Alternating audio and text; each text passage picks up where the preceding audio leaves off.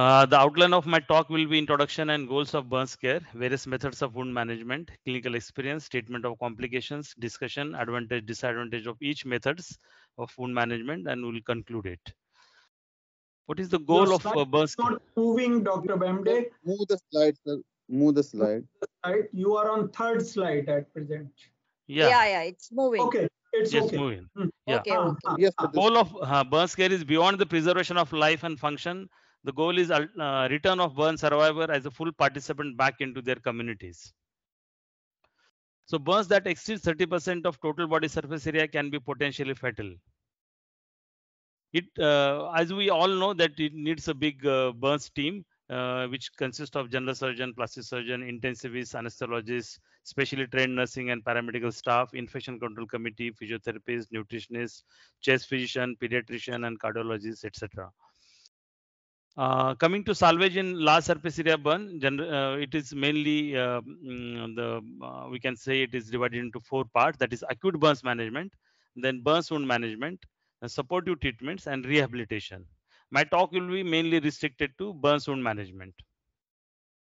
There are various methods of uh, uh, burns wound management in large surface area wounds. Mainly, there are three modalities.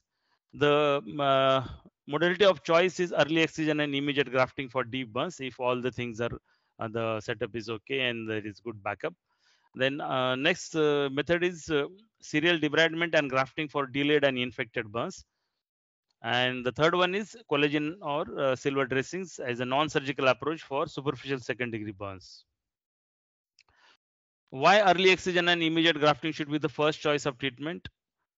As Dr. Herndon has said, uh, one of the most important advances in last 20 years has been development of early excision and early wound closure, which has changed the pathophysiology of burns injury. Hypermetabolism due to burns causes slow wound healing and prolonged generalized weakness due to loss of lean body mass. Early ex- burns excision and immediate wound cover reduces hypermetabolism rapidly. That is advantage. Another thing is the risk of serious systemic infection originating from burns wound is reduced. Like in this picture, you can see there is a, uh, severe wound infection, invasive wound infection, and patient is uh, going into sepsis. This can be avoided uh, if we do early excision and immediate grafting. Conventionally, uh, generally 10% of total body surface area burn wounds are excised at uh, uh, many centers.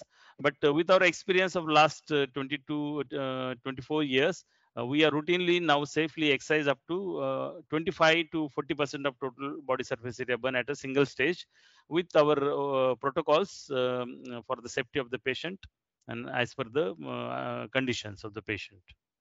Time of excision, uh, excision within 40 hours, uh, 48 hours is the best as because of the edema, the blood loss is less. But generally in our setup, we have to, we generally go for two to three days for uh, early excision. There is no age limit. We have done excision in even one day baby and uh, in 85 year old uh, um, person also, which I, I will share in the coming slides. So the total body surface area burn we have uh, uh, till now restricted to 80% uh, burn, and the aim is early near total excision and prompt cover of the burns wounds. Preoperative evaluation, depth of burn, total area of burn, percentage of burns, that is distribution of burns, airway assessment, hemodynamic parameters, fever, uh, presence of fever, urine output. This has to be assessed. Uh, biochemistry, uh, all investigation has to be done along with coagulation profile and of course exit chest.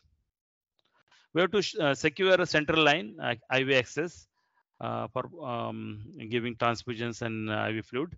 Then we have to ensure adequacy of uh, blood products inside the OT. Uh, we have to assess about uh, inhalation lung injury. Or what is the stage? Whether uh, is, is it uh, fine to go for early excision or we should wait? Uh, we have to also assess about associated injuries and comorbidities. Associated injuries can happen in electrical burns, especially. Coming to the surgical plan of early excision, we have to plan number of stages and depth of excision as per the percentage of burns and the um, depth of uh, burns. Uh, generally, we divide the work into three teams. One team works uh, for does excision, another team hemostasis, third team prepares the grafts. And the total body surface area exercise routinely 25 to 35 percent, sometimes up to 40 percent, especially on extremity burns, as we can use tourniquet, so there is less blood loss. And we have to plan the donor sites and position of the patient. Uh, sometimes we have to change the position, which is little risky, but intraoperatively, but we have to plan it beforehand. Intraoperative monitoring, all the required blood products are kept ready in the refrigerator of operation theater. Uh, and uh, um, it can be used for the losses adequately and earlier. Areas to be excised under tourniquet, we finish first. Uh, there has to be flexibility of plan of excision depending on the blood loss. Sometimes patient may have um, more than expected blood loss, so we may have to uh, stop there or reduce the percentage of burns like that, or we may have to change the area of uh, burn. We have to monitor strictly urine output, CVP, and temperature uh, during surgery. Intraoperative hemogram also is a good uh, guideline for replacing the blood loss we closely monitor ECG, NIBP, uh, SpO2 and EtCO2 during surgery. Also, prioritizing the specific burnt areas in such major burns patient is very important as these patients need a prolonged hospital admission and care. Specifically, prioritizing the excision and grafting of areas important for CVP lines, arterial lines, tracheostomy site, gastrostomy site, and colostomy sites are very important for long-term airway, nutritional and supplement, uh, nutrition supplement, and nursing care. We uh, try to uh, achieve early healing at these places uh, where we may need uh, access on the body. Coming to the technique, uh, technique of burn wound excision. layer by layer excision of deep burns wound is done till underlying healthy bleeding viable tissue using handheld dermatome in this case, you can see there is a deep burns on the hand and there is tourniquet is applied. That is sterile autoclavable tourniquet. And I'm using uh, knife uh, for excision. Though it looks very uh, easy uh, in the video clip, but it requires uh, definitely a learning curve and good experience, especially while excising the burns on under tourniquet because the appearance of healthy tissue uh, we should understand as there is not much bleeding under tourniquet.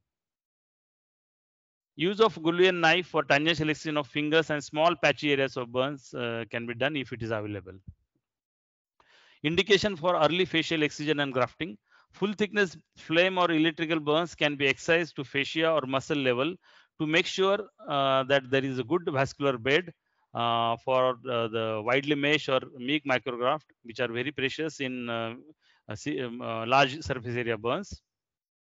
Body areas like abdomen, thigh, upper arm, etc., where subcutaneous fat is less vascular, we generally go for um, uh, fascial excisions.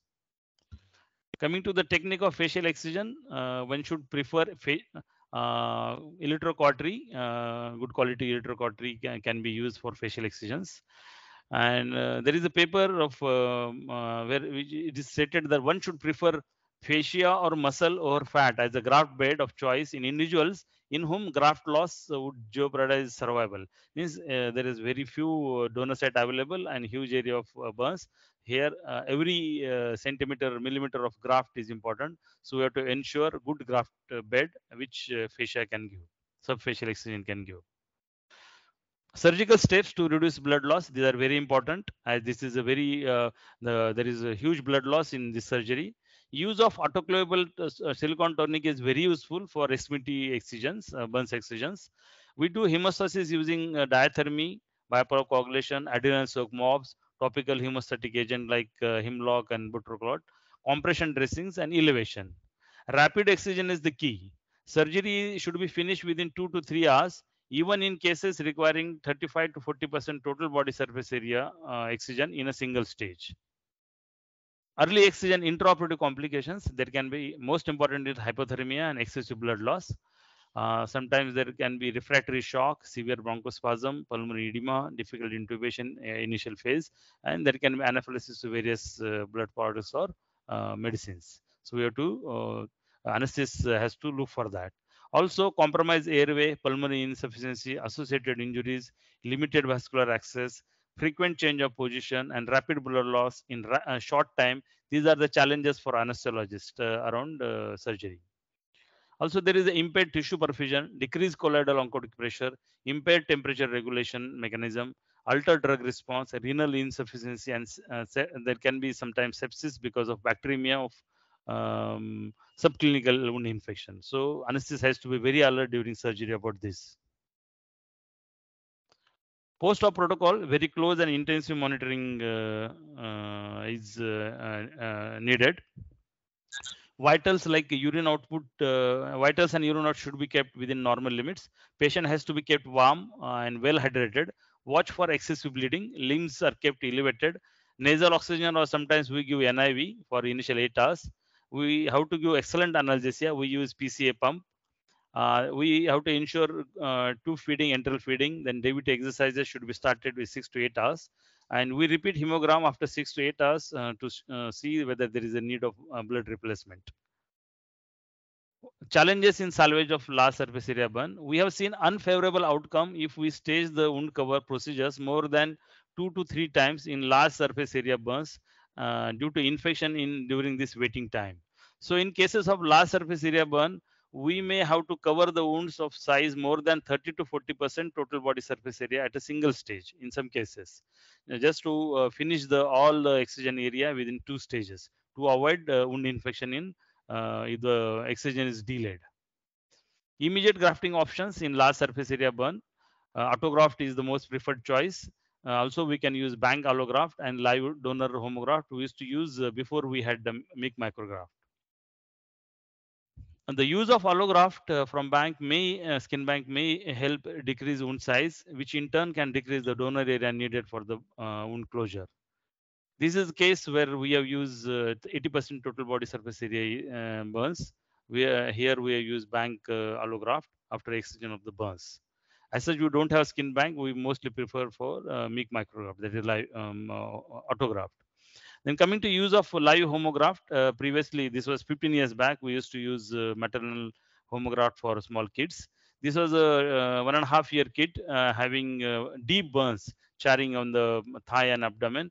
We have done excision, early excision on third day, and we have used homograft on that day. And after on the 16th day, we replaced the homograft with autograft and this is the um, uh, follow-up after two years. There is no contracture, good healing. This was another child, uh, immediate neonate, uh, immediate after uh, birth. He had uh, burns due to warmer, all toes and fingers and abdomen, and the lower extremity was burnt. We did the immediate fasciotomy. Then we did excision of the early excision of all the burns on fifth day, and we covered it with maternal graft, homograft, on ninth day. And this this was the picture on ninth day and on 17th day, we grafted it with his own graft, that is autograft, and this is after complete healing and uh, during follow-up after one year.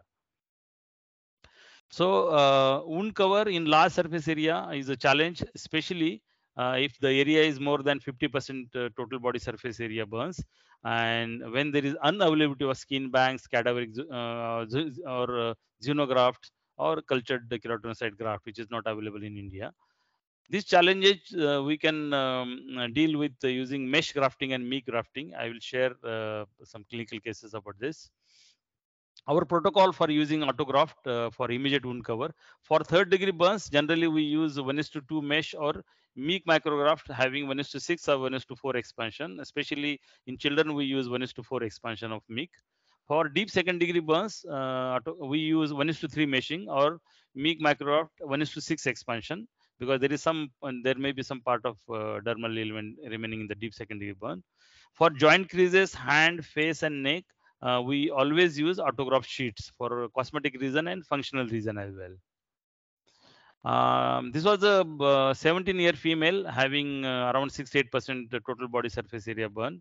This is the case where uh, when mesh uh, grafting was not available, we had excised her on fourth day, and uh, another this was the picture on 10th day we have done 28% total body surface area uh, excision and grafting and dry collagen uh, were used as an immediate cover. Uh, this was on uh, then again uh, on ninth day we excised second stage excision of remaining burns deep burns and this was a picture after 45th day while at the time of discharge we could discharge on 45th day with the help of grafts and collagen so uh, limitations for immediate wound cover in India, uh, as uh, just discussed, skin banks are um, less in uh, India. Xenografts are not available. Integra is not affordable to our population, all the population, and CA is uh, not available in India. So answer to the challenge uh, with our experience in last 22 years, uh, we have established some protocols for using Meek micrografting technique in large surface area one. We have also evaluated the advantages and disadvantages of this technique as a skin graft expansion method. Uh, we have started using Meek micrografting for large surface area burns in August uh, 2007, that is 15 years, and uh, around uh, 200 more than 200 procedures we have done uh, using Meek micrografting. Uh, age of the patient range from one year to 80 year, and we have used this technique in patient having 28% to 85% burns area. Indications of using Meek micrografting: third degree burns if more than 30%, burns of thigh, both the thighs are involved, then limited donor sites, then previously, if uh, previously donor sites are being used, but there is healing issues or graft rejection, and if the age is more than 60 years, even for 10% full thickness burn, we go for um, Meek micrografting to avoid uh, morbidity of uh, uh using large area of uh, donor site. This is the machine which was uh, first devised in 1958 and then modified in 1993.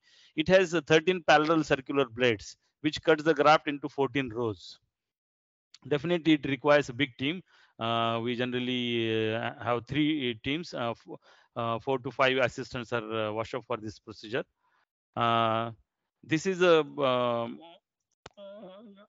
harvesting of uh, graft for um, Meek uh, technique. We require a very uniform thickness graft, so it is better to use dermatome. Another advantage of using dermatome is we can harvest graft from any side. You can see from the breast area, chest area, uh, from the waist, abdomen, we can harvest using this uh, dermatome. These are the different expansions, 1 is to 3, 1 is to 4, 1 is to 6, and 1 is to 9. Generally, in practical uh, sense, we use uh, 1 is to 4 and 1 is to 6. 1 is to 4 for uh, kids and 1 is to 6 for adults. We never use 1 is to 9. Uh, it is generally used as a sandwich uh, in other countries where xenografts are available. Mm, these are the components of uh, Meek gauzes. this is a pre-folded polyimide gauze. I will show you in the coming videos how it is used. This is a cork uh, plate, uh, 42 by 42 millimeter, and this is after finish, uh, doing the uh, expansion. We use at a time two pieces of uh, 42 by 42 millimeter uh, split thickness grafts, which are kept on the cork, and it is run through the machine. this is how the graft, two pieces of graft are cut at one time in this machine. This is one pass uh, then we um, turn the graft pieces 90 degree and um, uh, another pass is done. So there are 14 strips of 3 millimeter wide. Then again they are cut 90 degree. So uh, at the end we get 196 squares, 196 uh, pieces of 3 by 3 millimeter graft uh, in this case. So once these grafts are uh, Meek grafts are ready, we uh, spray Meek adhesive. It is um, uh, glue. Uh, we wait for three minutes to glue to act, and then this glued gauze is pressed against this pre-folded gauze. This pre-folded gauze has a particular expansion ratio as per our requirement. And after waiting for another few minutes, um, this, this, how, this is how it will look. We gently remove the cork piece uh, from the uh, pre-folded gauze. Uh, this, this is how it looks. Then this is uh, stretch on both the sides. This is the gauze is pulled uh, by traction on both the sides until the plates become unfolded and the aluminum backing is uh, peeled off and uh, we staple the gauzes on the ready wound. This is how this is applied. This is uh, how it looks. This was the initial uh, before expansion, and this is after expansion of the graft. This is another video of showing how we use the Meek micrografting. And this is the appearance on the sixth day of uh, Meek micrografting. This is the whole procedure which you have seen in the video. So uh, coming to the Meek micrografting uh, protocol, um, 1 is to 6 uh, expansion is used in adult, 1 is to 4 in children. And um, uh, generally we use 1 is to 6 expansion for freshly excised uh, wounds, that is early excision of wounds but for granulating wounds we use 1 to 4 gauzes this is our this is with our experience we have seen some graft losses in 1 to 6 gauzes if we use on secondary grafting, that is granulating wound. And area of wound cover uh, can we can cover from 20 to 40 percent at uh, one stage. And as I said, for joint creases, neck and face, we always use when is to always use uh, uh, sheet grafts or with minimal uh, slits. Wound preparation uh, before using Meek micrografting, we have to ensure that the graft bed is good. It is vascular. Either we have to go for tangential excision or we have to go for subfascial or suprafascial excision to ensure the graft bed is good for Meek micrografting. And yes, there is another group of patient where we can use Meek micrografting for granulating healthy wounds, which you will see in the clinical cases. This was the case of 62% burn in a 47 year male. This is suicidal burn, very deep burn. So combination of tangential excision for hands and uh, subfascial excision for chest was done.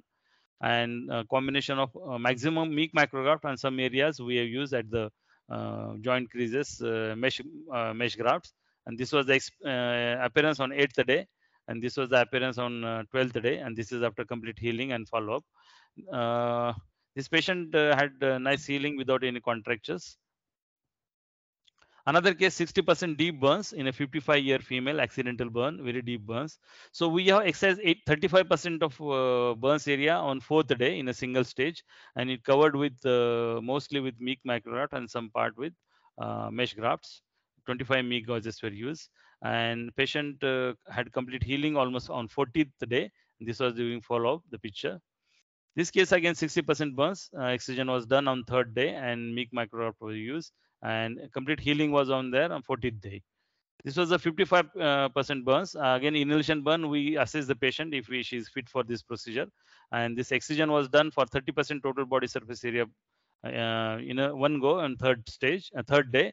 And this is how uh, early um, wound cover was given for her. This is the picture on uh, third post-surgery day.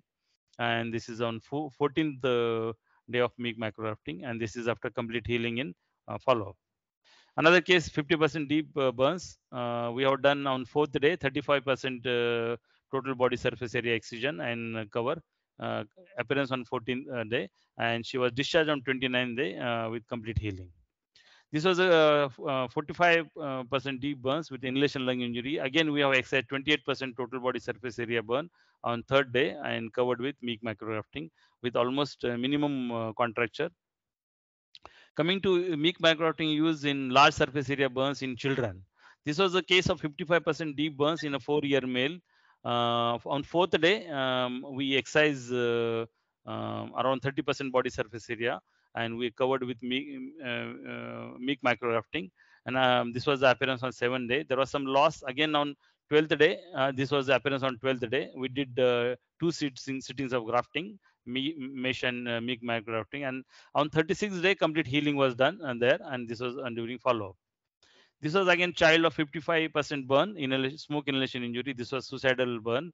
And uh, on the fourth day, we excise uh, um, uh, the wounds, deep wounds, and covered with uh, around 30% area was excised, and we covered with uh, combination of mesh, Meek, and collagen. And this is the same patient after five years of follow-up. So um, uh, as I said, Meek micrografting can be used in uh, granulating wounds also secondarily. And this was a child, this the clinical cases, 35% burns, came to us in septicemia uh, after serial debridement. After one month, there was good granulation tissue, so we covered it with Meek micrografting. This was a, a, appearance after six months. This was appearance after five months, and this was appearance after nine years of uh, Meek. Um, this is uh, the slide is to show how how will be the scar. It is just like uh, another um, uh, mesh uh, uh, grafting. The scars of uh, Meek micrografting are similar. There is no any contracture even um, after so many years. Coming to 70% burns with this, which is um, managed with serial excision and debridement. Again, we have um, covered her with Meek micrografting and some part with mesh macro, uh, mesh grafts. This was the ANC, four month ANC, 29 year male, uh, female, accidental burn, uh, uh, some inhalation lung injury also she had. Uh, hence, we did serial debridements and um, we um, managed her on 31st day with Meek micrografting mostly, and this is after healing. This was the 11 year child having 60% burn with inhalation lung injury. We could not do early excision on him. So serial debridement were done and manage uh, with uh, on 26th day we did uh, um, uh, meek micrografting and mesh mesh grafting. This is another child 55% electric burn, 13 year old male. Uh, this was uh, quite deep burns. So majority of the burns, uh, some of the burns uh, healed and remaining burns we manage with uh, uh, combination of mesh and meek micrografting.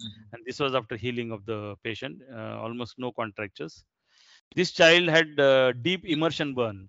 Um, uh, the attention uh, there was no in, nobody to attend the child for long, so the burns were very deep. Though it was uh, uh, due to hot liquid, the burns were very, deep and um, a patient was in shock for uh, two three days so we managed him uh, for uh, with serial debridements and meek micrografting um, on 38th day for coverage of this huge area of burns and this is after heal 20, tw- on 36th day we could discharge him. This was a gynecologist lady uh, having uh, burns on both the legs both the um, lower extremities. Uh, this was accidental burn and uh, she came in this uh, phase infected uh, wounds. So we wait till the granulation tissue was good. On 30th day we did uh, micrografting as the donor areas main donor areas were involved so combination of mesh and Meek grafting we did and now she's uh, doing well she's back to her uh, um, surgical practice uh, this is the case to illustrate that in an 80 year old uh, lady uh, having so many complications like hypothyroidism, renal failure, cardiac failure, um, she had deep burns. Uh, and this area was uh, definitely for her um, uh, quite morbid. So uh, the surgeons said uh, the place were reluctant for grafting. So they, she was sent to me. And though the area was not much, uh, as she had so many morbidities and 80 years old, I uh, took the decision for going for um, uh, meek as we have to use very small donor area in such cases and there was complete healing with a very small donor area in su- such a old lady coming to meek micrografting use in a very complicated uh, burns cases where due to biofilm sometimes you will see uh, donor side getting infected and getting deep uh, wounds. Also the grafted areas uh, most of the grafted areas there was graft loss. There were seven sittings of uh, grafting done for her and she was a daughter of a senior surgeon uh, from a district place. So only donor area remaining was buttocks and back. Uh, we harvested the graft from there and we covered her with uh, meek micrografting and this is after healing. This was uh, done after seven and a half month of uh, her burns. Uh, she came to us uh, very late with all these biofilms and all. Uh, coming to hand uh, burns, uh, uh, generally in all large surface area burns, uh, hand burns are very common. My intention of including hand burns is all the major burns, that is large surface area burns, generally have hand burns, and we should not neglect hand burns um, in the um, process of uh, uh, salvaging the patient, this is a very important uh, part of organ of our body which needs attention for further good quality of life. This was the um, case where we have done early excision and grafting and this is the result this follow up three months. Such results uh, are um, very um, difficult to get uh, if we do secondary grafting um, delayed uh, excision. uh, in case this was again another case uh, uh, major burn 60% burn and um this was done uh, along with excision of other body part and he had reasonable hand function Another case, combination of chemical and flame burn in a severely um, uh, um, inhalation lung injury and bilateral hand burn.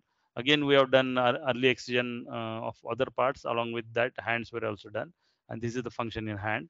So we have to be careful uh, to handle hand burns. We have to treat it early, aggressively, adequately, and skillfully for the best functional outcome. Coming to uh, uh, conservative management of large surface area burn uh, collagen dressings for second degree scars and burn. Uh, you all know the advantages of collagen dressing that decrease of uh, decreasing pain of the burns wound less frequent dressing changes prevention of infection prevention of protein and heat loss and there is a faster epithelialization this is we use for superficial second degree burn this was a case uh, where um, we have used collagen it was 40% burn and the child uh, healing was done in uh, almost 14 days. Another case, uh, this uh, delayed uh, patient came little late, but still we use uh, 55% burn. We use uh, collagen dressing, and only penile area needed uh, grafting because it was little uh, deep. Otherwise, all the area healed in uh, 30 days. Uh, this was a huge area of burn, that uh, large surface area burn uh, due to hot uh, uh, hot liquids. 72% scars in this adult. Um, he was quite healthy, and with only with collagen dressing, there was complete healing in within 15 to 20 days. Coming to example of uh, TEN, toxic epidermal necrolysis, which has very high um, mortality. And uh, being a burn center, we manage these cases also. We have to treat them like scalds with collagen dressing and fluid resuscitation. This was the child of a um, uh, radiologist friend in our city, having uh, involving almost all the body area but we treated him like uh, scald as i said collagen dressing and fluid resuscitation with the help of a pediatric team uh, from our uh, nearby sanjivani hospital. We could salvage this baby uh, this um, boy uh, with conservative management. Then um, uh, some slides about silver dressings in large surface area burn. Generally for um, if the wounds are second degree superficial or second degree deep we go for silver dressings and we found good experience with silver dressings. This was 56% burn, and this was uh, first, second dressing, dressing change, for, uh, third dressing change, and uh, every third day we have to change the dressing. And in uh, on 21st day there was a, a, good healing, and this was a cosmetic appearance after three years. Patient visited to us uh, after use of this thing. This uh, was a horrible looking 45% burns due to some electrical short circuit. And after cleaning uh, under GA we found that we can cover him. Uh, instead of going for early excision we can cover with uh, face for collagen dressing and rest area we did silver dressing. And after three dressing changes there was good epithelialization when there is good epithelialization we stop using uh, such silver dressing. And almost uh, most of the area uh, was healed with silver dressing. Only small areas where there were some fasciotomy wounds, uh, we had to do grafting. And this is how we, we look on 14th day. Day one, uh, day three, and this is after discharge. Also, there are flexible uh, silver dressings available, which acts for seven days, um, just like uh, three days uh, silver dressings. Advantages of silver dressings: uh, these dressings reduces the risk of infection. It contributes to effective wound bed preparation and helps to maintain moist wound environment to assist in rapid healing in case of uh, deep second degree burns. And there is a reduced frequency of dressing changes, which, which can be cost effective and beneficial to the patient. Coming to the wound management in large surface area burns outcome, average area of excised burn tissue in a single stage in our hospital was 28%. Maximum area excised in a single stage were 40%. And initial eval um, important things are initial evaluation of depth of burn is very important to evaluate the needs of early excision and grafting. Earlier functional recovery due to early excision and grafting boosts the confidence of patient for further burns management and rehabilitation program. So early mega excision of burns wounds have shown significant benefit like decrease in hospital stay, lesser complications like sepsis, ARDS, decrease in the mortality and morbidity in extensive burns patient. Meek micrografting technique is very useful for skin graft expansion in uh, large surface area burn. The instruments and technique of micrografting may um, appear complex initially, but with uh, certain protocols and uh, planning, preoperative planning and training of the staff, we can uh, reduce the time spent for doing micrografting. And skin harvesting with the dermatome uh, is uh, better for better uniformity in such uh, micrografting cases. Number of painful dressing changes and repeated debridements are reduced with the use of micrografting. Uh, very small air donor area is uh, required as you have seen. The graft islands are very close together in a regular pattern resulting in fast and uniform epithelialization.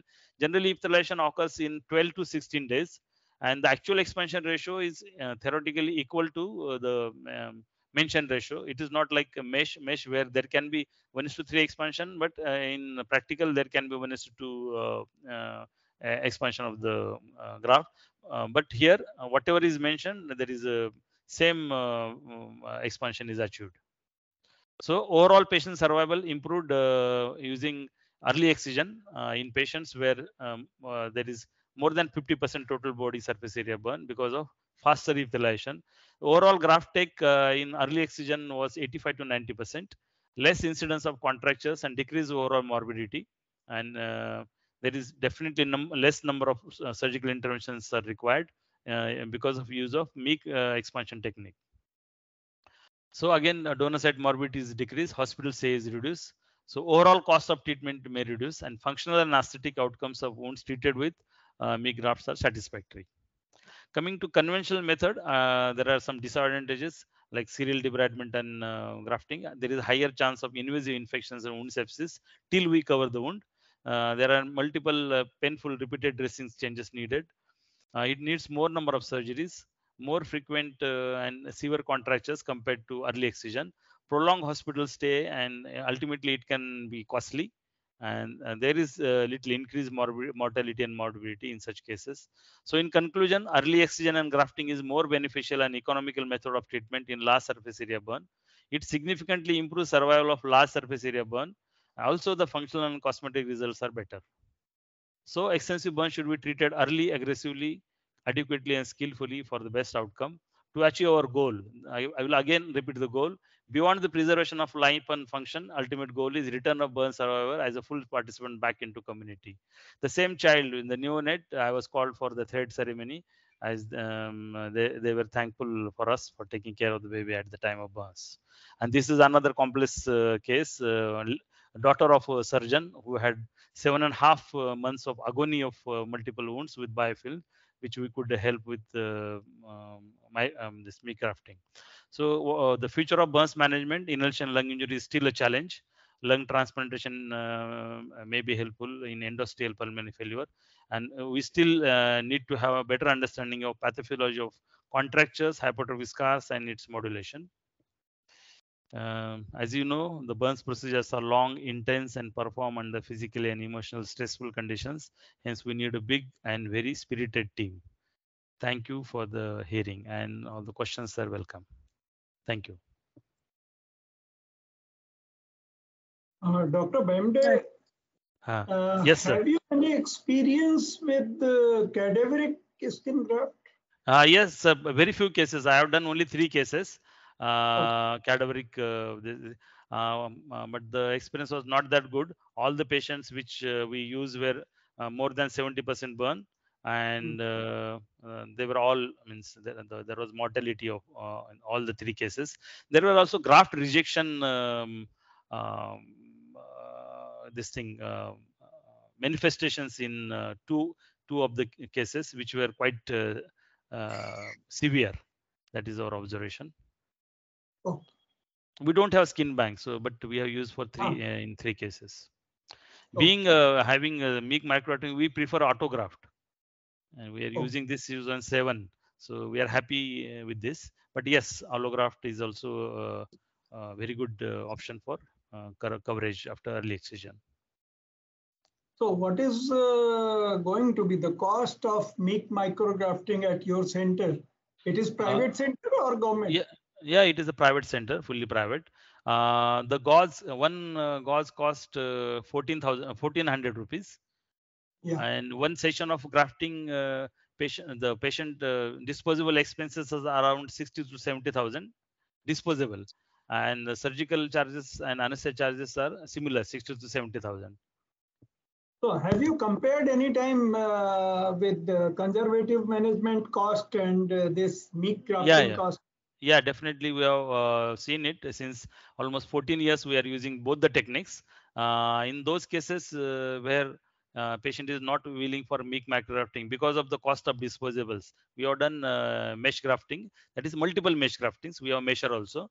But ultimately the cost of um, uh, treatment uh, may be more in conservative treatment or maybe equal because the number of surgeries will be more and the hospital stay will be more uh, also, there are indirect expenses where patients attendant had to stay with the patient for long. Say, um, in many of the cases, I have shown the patient can be discharged on 35th to 50th day.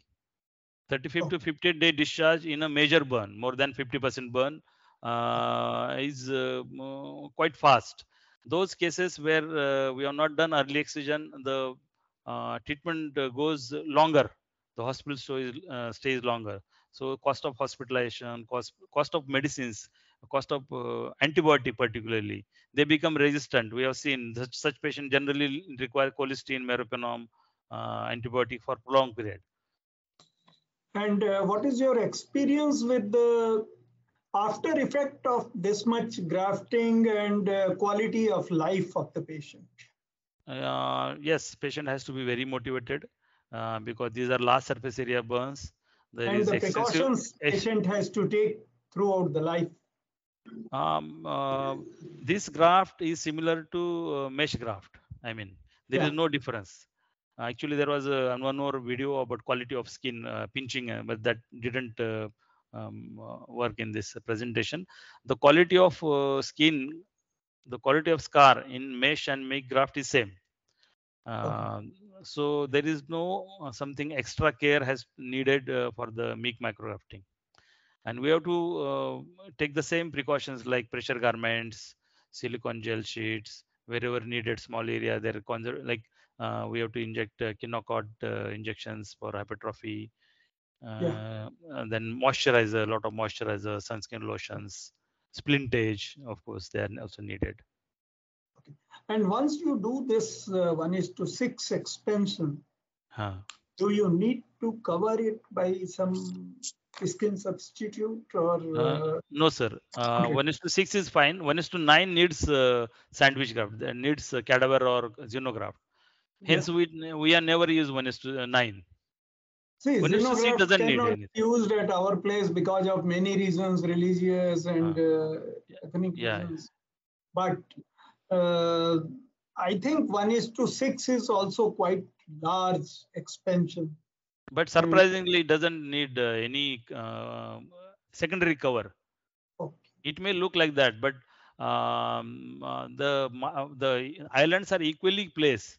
So there is a good migration of uh, epithelium in between the islands. Ah, so because there is It has always been told and taught that uh, epithelial migration from the edge of that graft is 0.5 centimeter at most from one side. So at, at most you can leave the gap of one centimeter. so the gas is, gap, gap is very less no, sir here gap is very very less In one is to six, how much is the gap? um, i don't know the measurement but it is less than uh, one Six centimeter millimeter. it, it Okay. must be in millimeters Less few millimeters Few four four four four millimeter, it millimeters. is the expanded I think it is more than uniformly. millimeters at least, but less than one centimeter, of course. yeah yeah definitely less than one centimeter must be a few millimeter uh, and uh, surprisingly as you said uh, initially I, I had apprehension of using 1 is to 6 uh, because uh, the training is same uh, with all of us that we have Yeah. to give maximum graft to prevent the scarring and contracture so um, we were reluctant to use 1 is to 6 we used to use 1 is to 4 initially. But uh, uh, as our confidence uh, gain with experience in adult we use 1 is to 6 and in children we use 1 is to 4 And have you observed cobblestone appearance after this one is to six machine? yeah yeah. There there is a typical uh, scarring is there. You might have seen in this uh, uh, scars also. There is de- definitely there is scarring um, cobblestone scarring. But uh, i have shown one girl a small girl Yeah. where we have done 11 years uh, 9 years of uh, uh, this thing. I think now she is 11 years after grafting meek grafting. And the appearance of uh, surprisingly the appearance is similar to mesh graft because i use both the types of graft for her. And it is very difficult to compare uh, where was the meek um, micrograft and where was the mesh graft. I have to see in the I have uh, some experience with meshed graft and this uh, Meek graft. uh, Uh, to avoid this cobblestone or crocodile skin appearance. uh-huh. I cannot explain what was the reason, but I used after three to four weeks some Uh-huh. steroids for a month or two. uh-huh. And then I found that Oh, uh, this appearance is less. I don't know about others' experience. I- Sir, i- i- local was, was steroid, it local. topical or oral oral steroid or Topical, topical Topical, not oral. Topical. topic. okay topical steroid okay Topical, topical. Uh, for small area we can uh, definitely try small I area. used Betnovate exactly. okay sir And uh, I That found that uh, this appearance, uh, I have few photographs with me somewhere, okay and uh, I experienced that. Uh-huh. as such topical steroid helps for uh, any um, um, uh, scars. I can Even- only even- explain uh, it might have enhanced something epithelialization or whatever uh, till the time that uh, graft uh, epithelialization was more. By that time, the expanded is. When, was. when did you apply the steroid, sir? At what phase? After three weeks to four weeks. A- After three weeks of uh, Meek micrografting. Four weeks. Peak and uh, expanded uh, meshed grafting also. Once it has taken over well, we Okay. removed the dressing, then we applied that. Okay. Definitely, we can try in some cases. Definitely. Uh, I Thank you. think so. We can try and we can study. Yes. sir. I don't have any explanation, frankly, but Uh, I have observed. I, it is my observation. uh, Uh, seniors may. Experience matters more. It Yeah. adds to the experience matters more. If it is there, we should try and we should come out Ah, that's why. I'm sharing my experience. Uh, that right. if uh, we try and we find the, it is beneficial, we can go for uh, some study or like that. uh, Dr. Sir, Bhattacharya sir may comment. sir. Uh, no, I have no experience about using steroid uh, post-operatively because we have been using the mesh graft routinely, and uh, most of the time it was one is to four. So uh, because uh, you know Meek grafting, sir. it, no mesh graft. Mesh. Mesh craft, sir. mesh. Yes. And uh, uh, because uh, it depends upon the case. But Yeah. uh, what, I, what I wanted to say is that um, Dr. Ramakant, it was a thrilling presentation. Hearty congratulations. Enjoyed Thank you, your experience, vast experience. The only you, thing which I wanted to say is that with this Meek graft, Uh-huh. now it, it seems that the use of homograft has reduced. Yes, we are not used since last 12 years. Th- Exactly. That was the case when we didn't have uh, Meek micrograft. Yeah. And the second thing is that even if you have to, our experience was that those days uh, the homograft came in the view and uh, it was easy to motivate the, especially the mother. In, in fact, they spontaneously she used to come that use my skin for my child. Yes. Yeah. It, it was not difficult to motivate the mother for a small child, but Yes. it was most difficult to motivate for adult patients. Adults. Yes, sir. True. Okay. Especially So- for uh, female. Yeah, especially for female. So this was another thing. And Yeah. the one thing which I wanted to ask you is that uh, does your protocol change according to the causative agent of the burn? For example, chemical burn, electrical burn, thermal burn. Uh, yes, sir. change with the Yes, sir. Of course. for early excision and uh, make? Yes, sir. Definitely. Uh, we cannot do the same thing with uh, electrical burn or uh, chemical burn. We have to wait till uh, the injury pattern uh, is established. So it is not Especially- early, it is, it is delayed. Delayed. Yes, sir. It is delayed action. And one suggestion is that you don't know the depth of the burn in the electricals initially. Yes. You have to wait because it Yes. is more deeper than what it seems. Yes. Always it gives you That's surprises. limited role. Yeah. Yeah. Always Uh, my suggestion, Dr. Bembde, is that you have uh, written in your slide that after 48 hours I go for tangential excision. I would like to add that once the patient is hemodynamically stable, as early as possible, you go for that. Yes, Instead of saying that after 48 hours, because that becomes fixed. Yeah, yeah. Uh, it is just suggestion.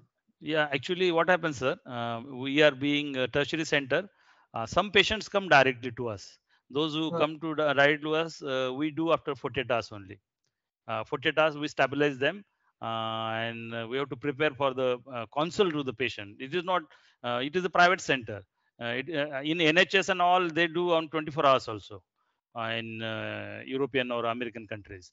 Here, uh, the pa- we have to convince to the patient that uh, we are doing surgery because most of them don't know that surgery can be done after second or third day on burn they will ask what is the uh, role of surgery and all. So it takes at least 48 hours. And those patients who come little late come after 24 to 48 hours then uh, we may have to wait for another day to stabilize assess uh, patient and also convince the relatives. So uh, as early as possible is around 48 hours or three days in our center.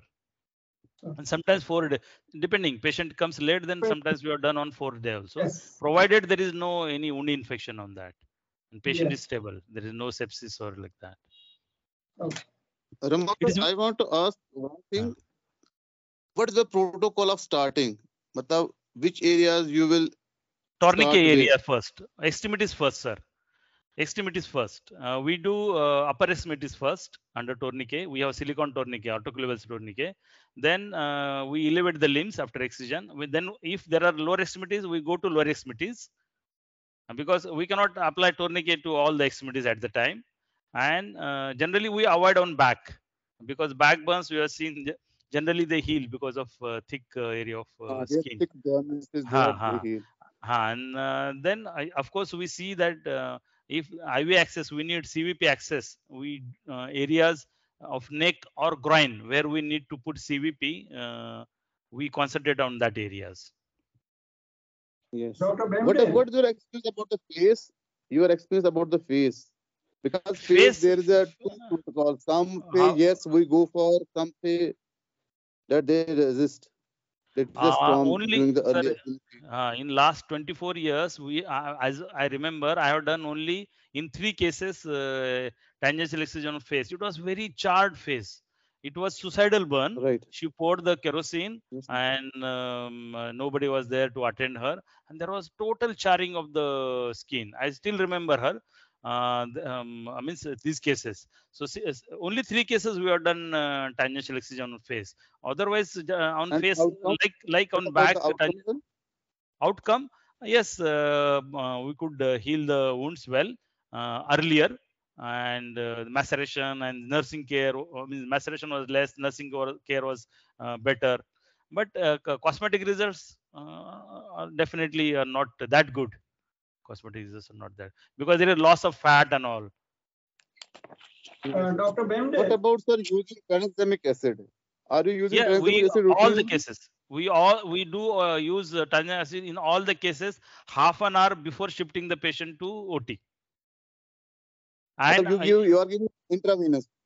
yeah we are giving intravenous and we also use a topical uh, hemlock solution and uh, that ha, hemlock hemlock solution then Botroclot solution that uh, uh, uh, framacetine uh, what is that? Fra- frisilim frisilim uh, sol- solution.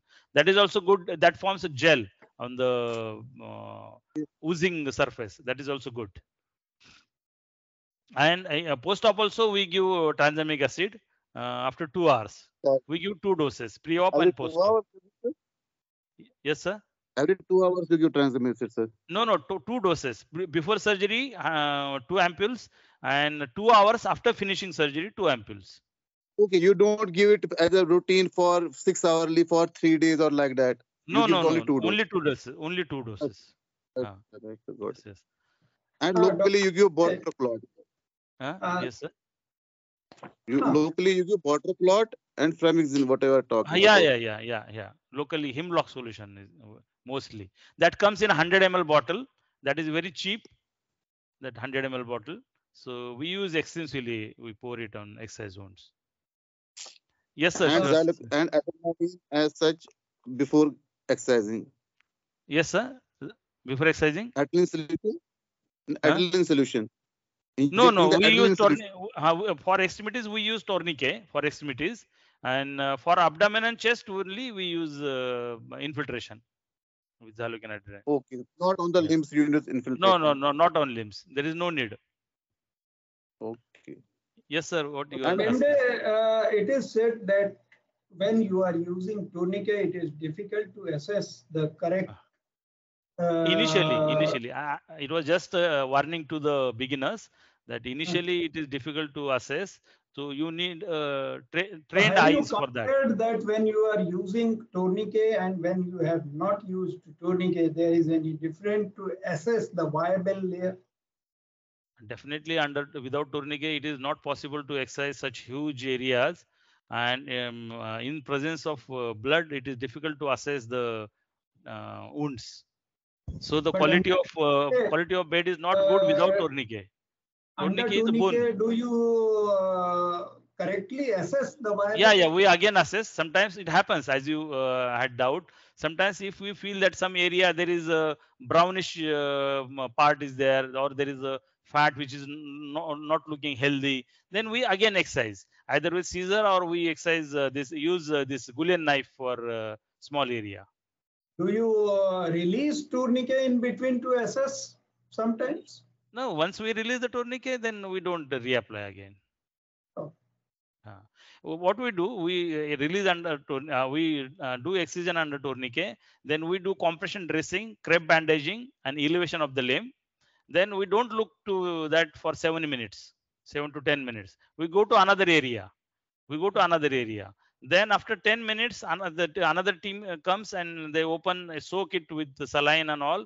Gently they remove uh, small small area they open and there are cauteries uh, bipolar cautery coagulation uh, diathermy is done um, that is how uh, um, the hemostasis is achieved if I remember correctly, what is said, you you can correct me. Under the tourniquet, white is right. If it is white is right. yeah yeah Without pearly uh, pearly white shiny white is right yes White is right. Under the tourniquet, right, white is right, and without tourniquet, red is good. yeah I have Yeah. remembered like that. Red is Yeah, yeah. good if without tourniquet, abdomen you are doing or whatever, face Yes, you are yes. doing. Red is Yes. good, and with tourniquet, white is right. yes yes yes very easy to Easy to remember So really Dr. enlightening. A wonderful Really and uh, fantastic uh, uh, practical experience you showed, and uh, very nicely you described the Meek micrograft. Mm, I think uh, very few centers use this uh, Meek micrografting, and uh, wonderful experience and the results you have showed. So most of the questions Dr. Srivastava sir and uh, uh, asked and those doubts were cleared. So for the sake of uh, PGs, uh, uh, just you explain the uh, bed nature clinically, how will you will uh, identify the viable uh, bed, how to describe. Yeah. Uh, co- Yeah, yeah. Under tourniquet, uh, the tissue has to be uh, glistening, shining tissue, and uh, uh, whitish tissue, pearly white. It should not be brown. If it is brown, then it is charred. Then there should not be thrombose uh, veins in the excise bed.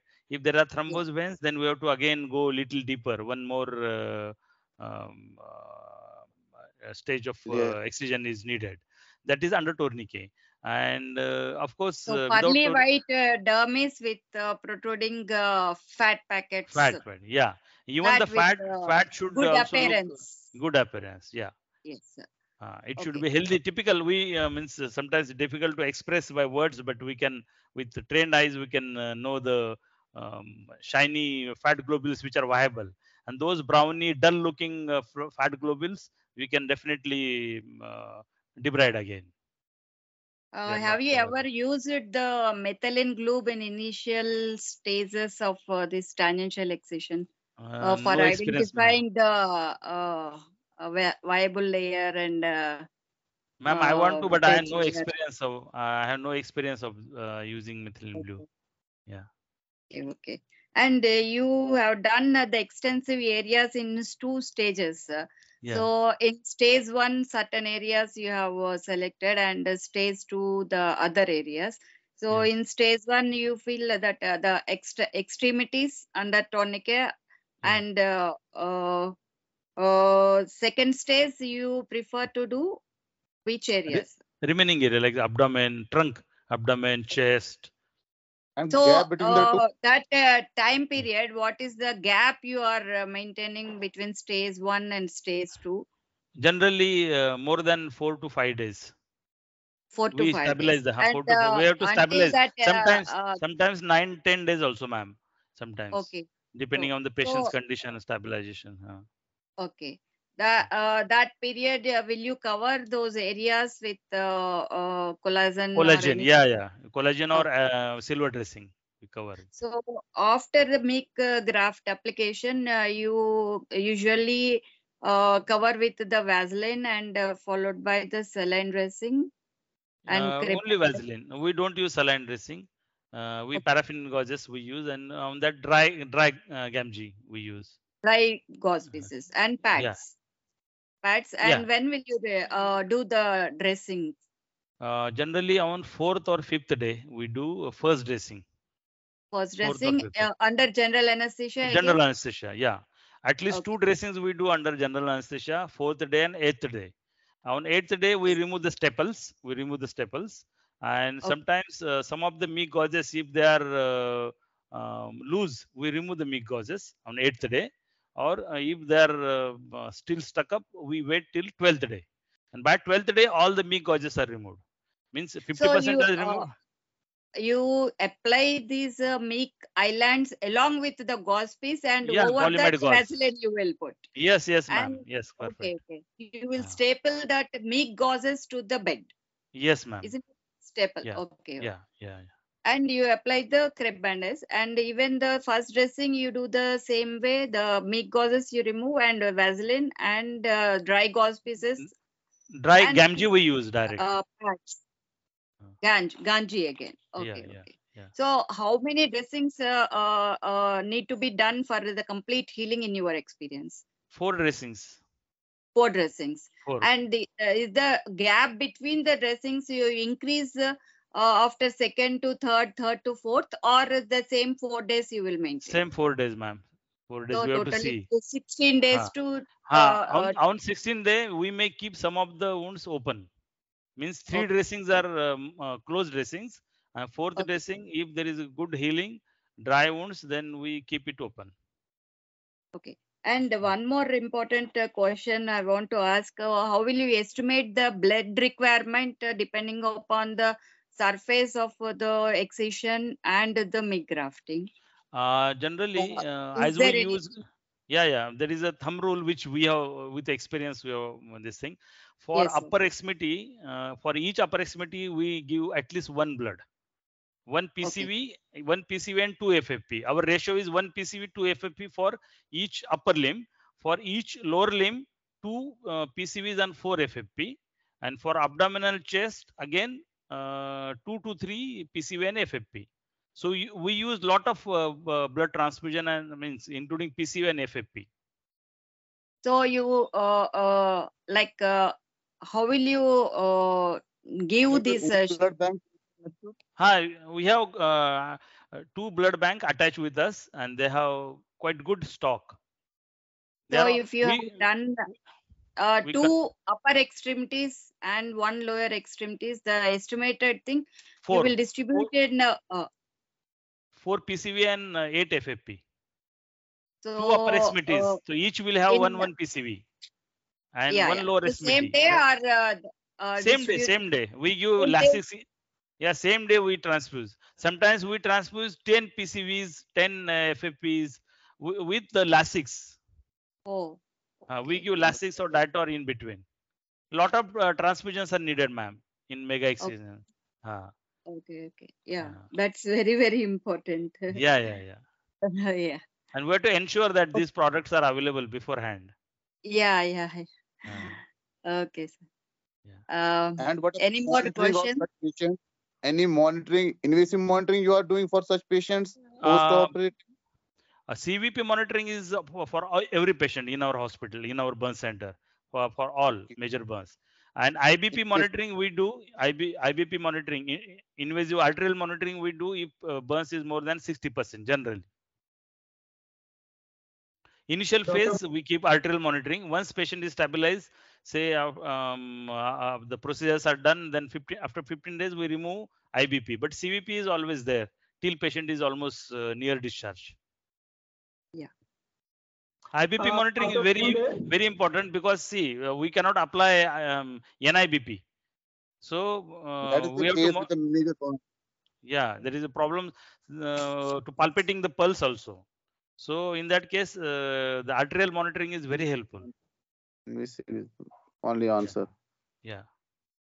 Dr. Bembde, after how many dressings you remove that uh, Meek, gra- uh, that uh, gauze piece? Pause. Uh, on eighth day or twelfth day. Fifty percent gauzes are generally removed on eighth day, and remaining uh, on twelfth day.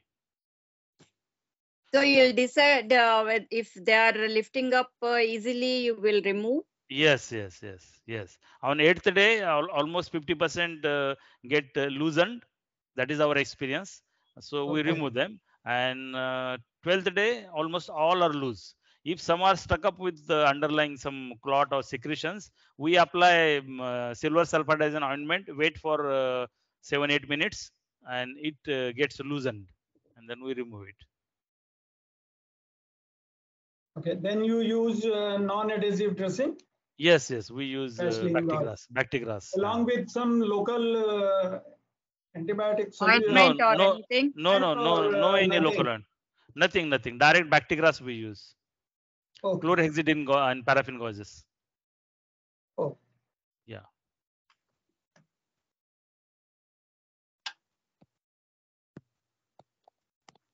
Thank It you, sir. really Thank you. enlightening presentation as well as discussion. Yes. Thank you. Thank you so much. Wonderful, wonderful results Any- also any- wonderful. Wonderful presentation and your results are wonderful. Thank you, sir. Thank you you. so much. Thank you. Thank you, ma'am.